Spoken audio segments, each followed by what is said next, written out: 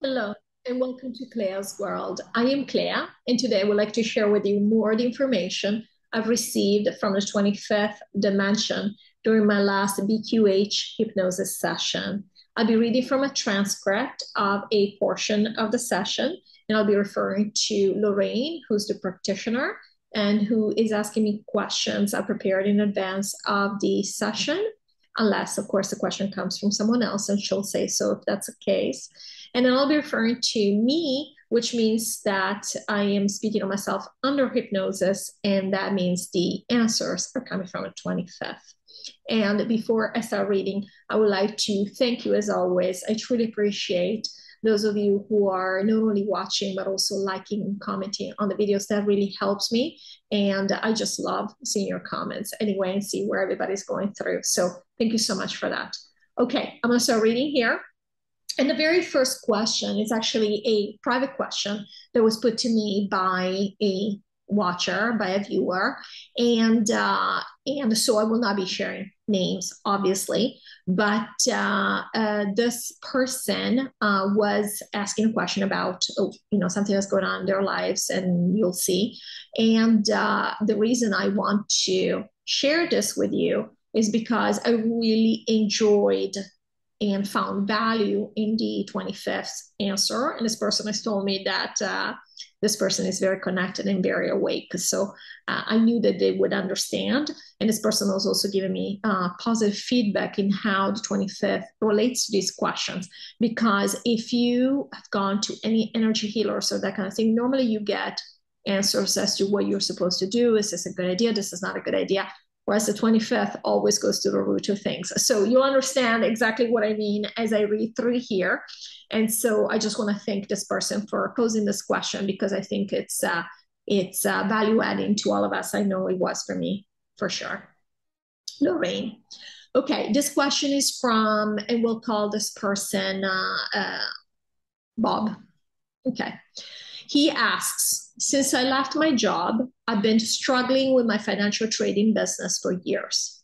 I almost gave up last year, but during a spirit guide reading, my guide told me I was on the right path. And it is still the profession that I want to do, but it didn't get better. To improve my situation, should I keep improving my trading? And if so, how? Or should I sell my apartment or do something else? Please elaborate. Me. Yeah, so he likes, so there is a clue there. He likes to do what he's doing. So he should do what he likes doing. However, because he's asking, should he do this or should he do that? As in, in his mind, what is going to set him to the best outcome? And in his mind, what does it mean, the best outcome? I'm assuming it means money. What's going to make him money and what's going to take care of him? Here's the thing the higher self is not always concerned, well, it's rarely concerned with money. So, this trading, what is this trading doing for him? One, he's enjoying it. Two, it's allowing him a freedom that he doesn't talk about in the question, but it's allowing him a freedom to analyze his reality, to have a certain time to himself, to study, to do things. He even has the opportunity to get better at it, and he wants to know how. The fact is, Isaiah yourself is telling him, enjoy, look at it it's as a game, as a game that it is. Now, we understand that he's also concerned. Well, I have to make a living for myself. Of course, it's always what happens at a 3D level is that this is there is this need, these financial needs in conflict sometimes with our want to do something fun for ourselves because we have to provide. And so now we're saying, okay, what do we need to do? What you need to do is, we don't want to give advice as in, this is what you have to do. This is how, this is not how it works. He's a free individual. So Isaiah yourself does want him to have fun. But if this is becoming a source of stress and he's feeling trapped and he's thinking, I have to do all these things, otherwise I will not survive, then he needs, that's what he needs to look at. Where is this fear coming from? Does he like this trading? Is it worthwhile to him? The way that he's doing it, the way that is happening. If it has now become a source of dejected hope, then maybe he's not enjoying it as much anymore. So maybe you should pull away just because of that, not because it's not making the money that he wants it to make.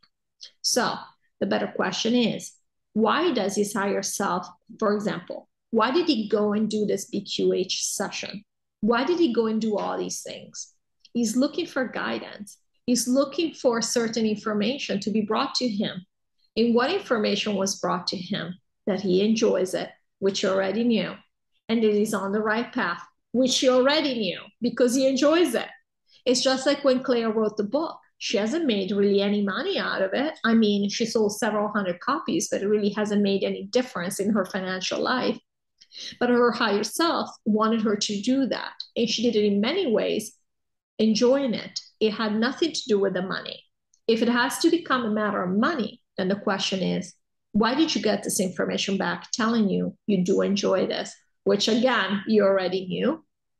What is it that your higher self is wanting you to know? So if you're asking, is this what's going to make you millions? No, it's not. This was never, although it is trading, it was never about money for you. The essence will not work for money. We think money is so important. The essence could not care less. The essence just wants you in a situation where you get to do the things that your essence wants to experience. If your essence wanted to experience you being a billionaire, you would be a billionaire. You probably win the lottery. You don't even have to sweat it because for the essence, everything is possible. So it's looking at it from the perspective of what he wants to know. In order to make money, do I continue doing this or do I do something else? And the higher self instead is trying to get information to him to let him know you do enjoy this. This is good for you. There are many benefits that come out of this, but no, becoming a multimillionaire is not one of them. So, what do you want to do now? And this is the feedback he has been getting he just keeps resisting it. So, can he sell his place and do something else? Absolutely. But is that what his higher self wants of him? He does enjoy it. Can he make it go? What he's doing, if he's enjoying it? For example, he's talking about becoming better at trading. Maybe you should do that. How? He knows how. He knows how. Why is he asking? Who is he asking? He knows how. It will come to him. If that's what he wants to do, it will come to him he'll get an email that says, here's training. Maybe he's thinking, I should go back to school if that's what he thinks he has to do. But it doesn't have to be that way. It doesn't have to be that hard. It doesn't have to be that time consuming. It doesn't have to be any other way than what he thinks it has to be like. For him, it might mean that he does an online course. Maybe it's a six hour online course, and all of a sudden he says, I'm going to get better. And he is going to get better because he's in charge of everything. As I said, I love this answer. It just made me think of so many things and how we're really supposed to go about trying to understand what our higher self wants for us.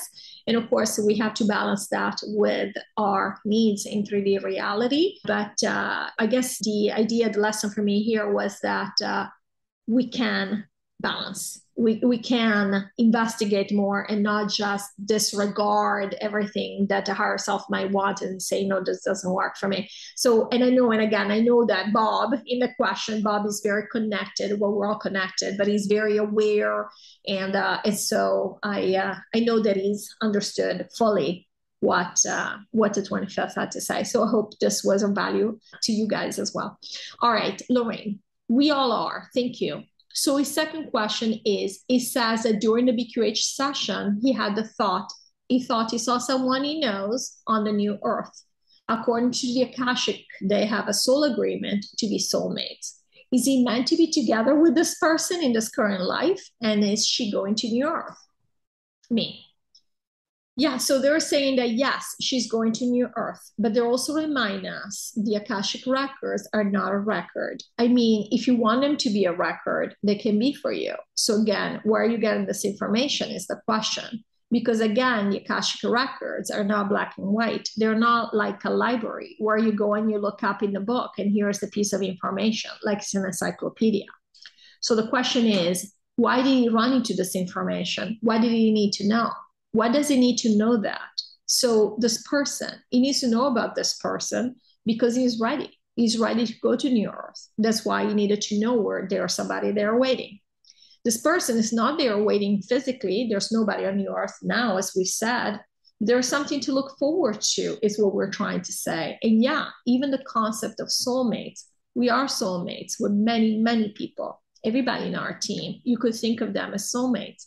Really, we're soulmates with everyone. We are one, and they were laughing. You can't be any closer than that.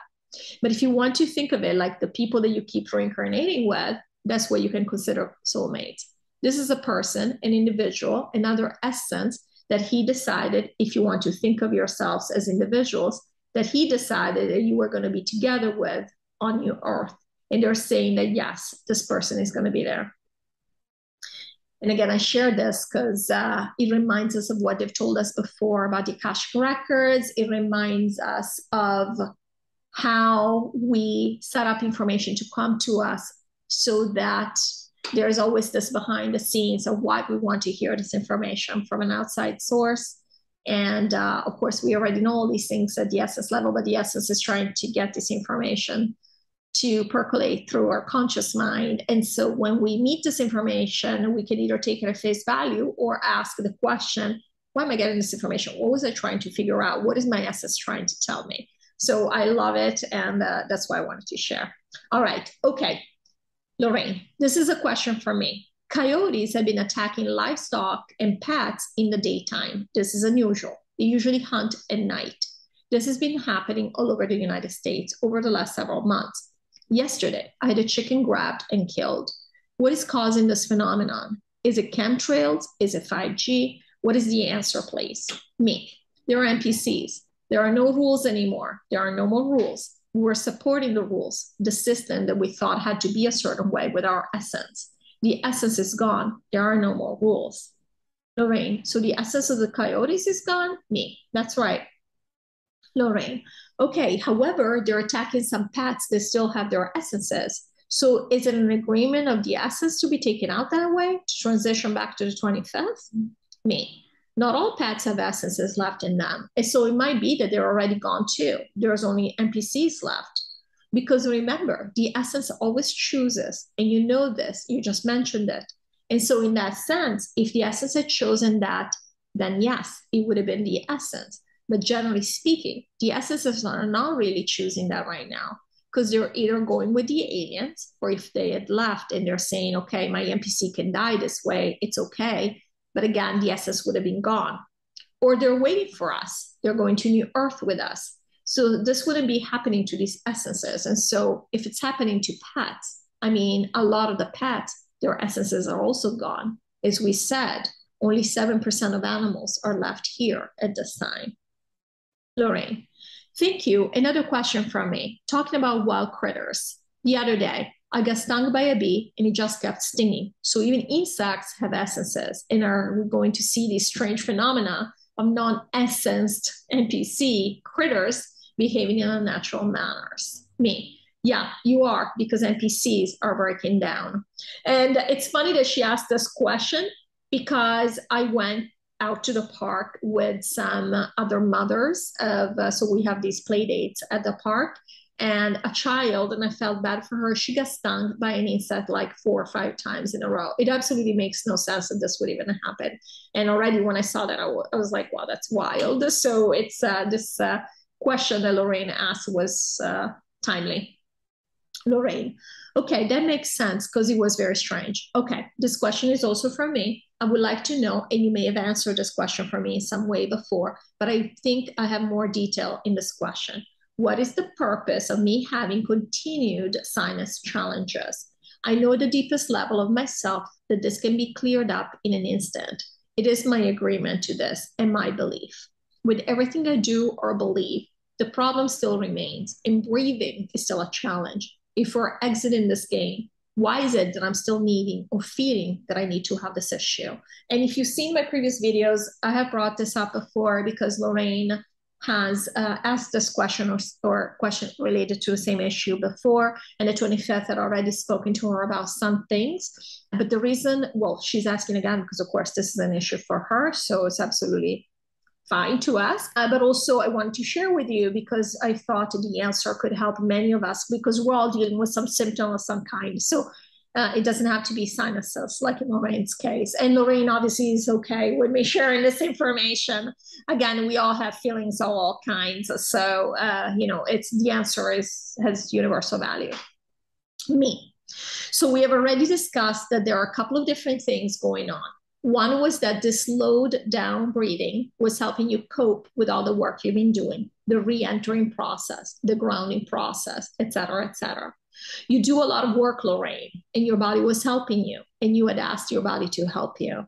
Now, the other side to this is that also that your higher self, while you at a conscious level might be extremely bothered by something that is going on, your higher self is dealing with so much stuff.